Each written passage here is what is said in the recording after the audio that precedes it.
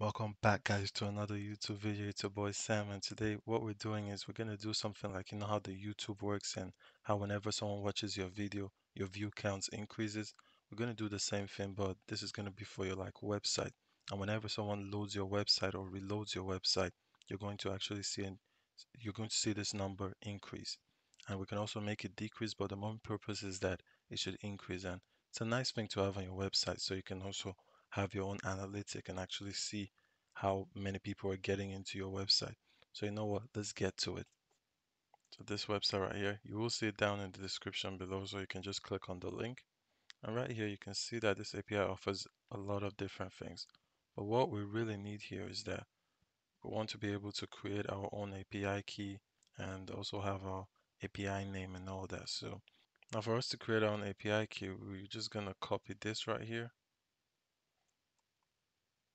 We come right here, paste it, and there's some things we need to change. For this namespace, I'm gonna put Sam codes, and another thing, I'm gonna add an and to it, and yeah. So I'll put an and and write key because we need a key and the key I'm going to give it as CodePen and the value I want it to start at zero. So right here we have a namespace is equal to Sam code, the key is CodePen and the value is zero. So you do yours, put whatever you want the namespace to be, whatever you want your key name to be, and where you want it to start. It should start at one, but depending on what you're doing, you never know. And then I click enter. Okay, why this is not working is I've already used this, so I'm gonna change this to just just pen and some code instead of codes with an S and press enter. And now you can see it works. So there's a reason I showed you that basically if you create an API and create your own key and all that, you cannot reuse it or recreate it. So you have to change it. So it's good for you to know that too. And now we have everything here. So I'm just going to show you another thing we can do. So right now, if we put, in this case, it's Sam code and pen, and this you also see it down in the description below, this link. And we click enter, you can see the value is zero. So I just want to show you that our value is zero. Now the way we're going to use it is, I'm just going to copy it here. This is when you want to update it. I'll paste it right here. And after update, I'm going to put the name that we used, which is Sam codes, code. And then I'll also add our API key name, which is pen. And the amount is I want it to be increased by one. We could also increase it by negative five, five, and whatever. But in this case, I want it to be incremented by one.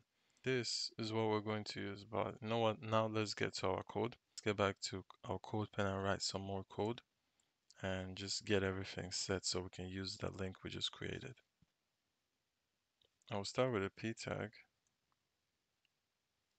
I'll say this page was viewed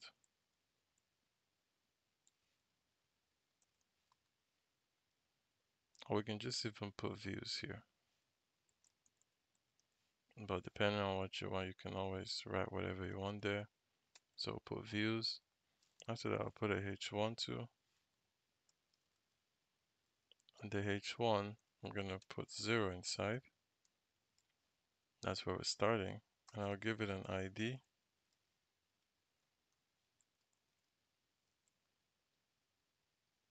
the ID is count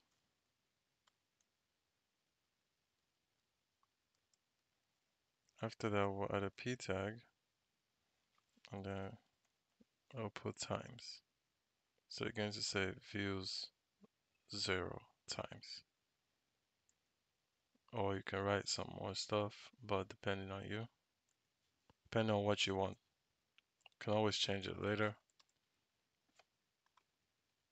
The next thing we'll go to our CSS and in the CSS you can see that we have this right here. This is just Google Fonts should know how to do that. but yeah, we just put our Google Fonts. You go to www.googlefonts and you'll be able to get this link there. And the next thing we'll just use do some box sizing. Say border box. And yep, now we'll go to the body. And for the body, you'll have a background color. And the background color is going to be 581845 and the color is going to be white.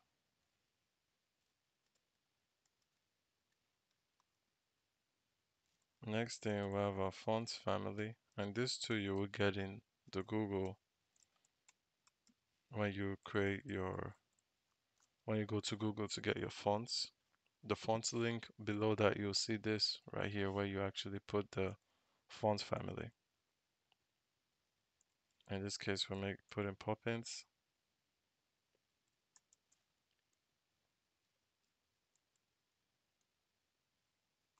And also sans serif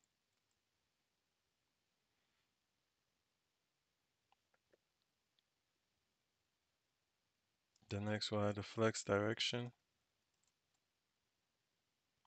of column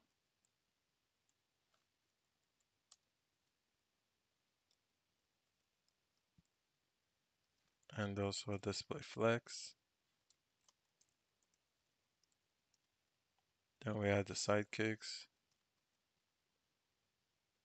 Align items, not align content. Align items. Put them to the center. And also justify content center and also add a height of 100 VH and a margin of 0. Now for the H1, we'll add a font size and you can do whatever you want for the font size. Just gonna make it extra big because we have a lot of space and the margin of zero.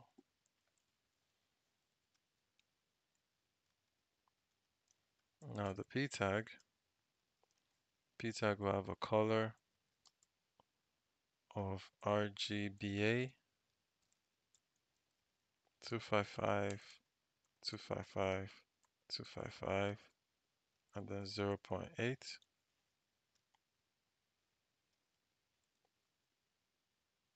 and then letter spacing of 2 pixel.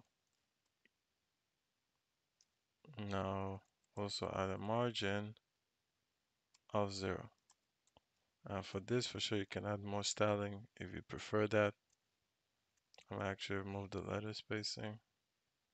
Oh, it looks better with the letter spacing, so we'll leave it. So you see the difference. There's more space between them. And that's it for the CSS. Now it's time for the JS for the JS, we're just going to create a constant of count element I'll make that equal to document and guess what we're taking out document document dot get element by id the element we're going to get by this count. Then after that, we need to create a function. And the function is going to be update. So this function here is just going to basically update whenever we reload by calling our fetch and that's why we're using this fetch by calling our API and right here is where we'll put this right here that we have. So copy it. Down below I'll leave a way where you can easily just make your own API key real simple and have this for whatever API key. I will put one there because we want it to increase by one. After that, we'll use the dot then.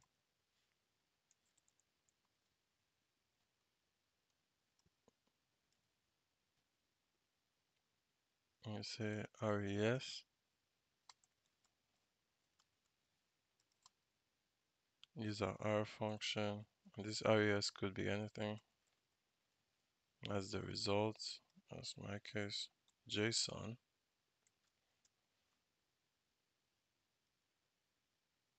And then dot then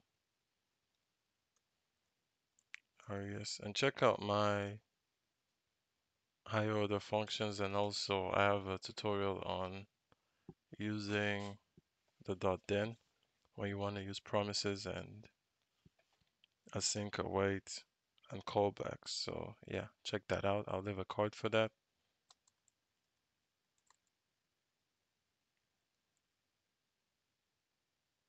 Then we say constant element count element dot inner HTML inner HTML should be capital. Is equal to res dot value. So basically making sure it updates by changing there. So yep that's it. I will save it and press control control R to run it. Yeah so now why it's not working is we need to call this function. So right here I just need to do update because if you create a function if you don't call it it's practically useless. So that's why it didn't work update is spelled wrong so for update yeah so now it's spelled right and you can see it's increasing so